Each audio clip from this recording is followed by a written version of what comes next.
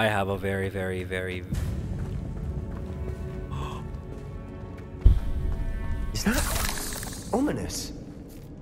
How the heck did Ominis find us? Ominis.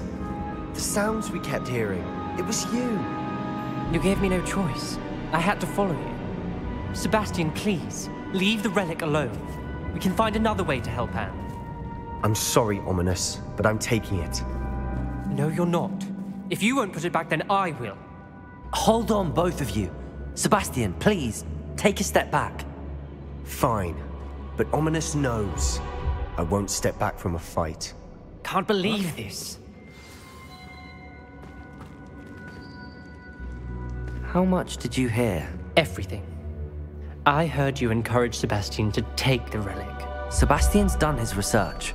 He knows what he's doing. Sebastian makes things sound easy when they could be impossible or dangerous. We need to stop him. And if nothing will change his mind? Something has to. I need your help. Well, I really want to save his sister. I really do. I'm so sorry. Sebastian's right. We need that relic. I'm sorry. My mind is made up. Are you willing to sacrifice your friendship over this? I might be. How could I choose to stand by and watch him do this? What if the choice wasn't yours? You wouldn't be to blame for what happens. What in the world are you suggesting? Imperium?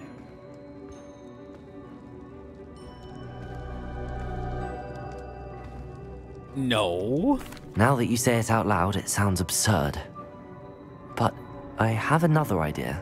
We allow Sebastian to leave with the relic under one condition. After this, no more. I feel that's what we agreed to in the scriptorium. I'm being taken for a fool. You're not Ominis. This may be the only way to keep your friendship intact. Let's trust him to know what's best. Fine. If I trust him on this, I'm trusting you too. The dark arts seem harmless until it's too late. Go then. Leave with the relic. I'll not say a word more. I hope I don't regret this. Sebastian, we're ready. What is it? I haven't changed my mind. Ominis has. Let's go.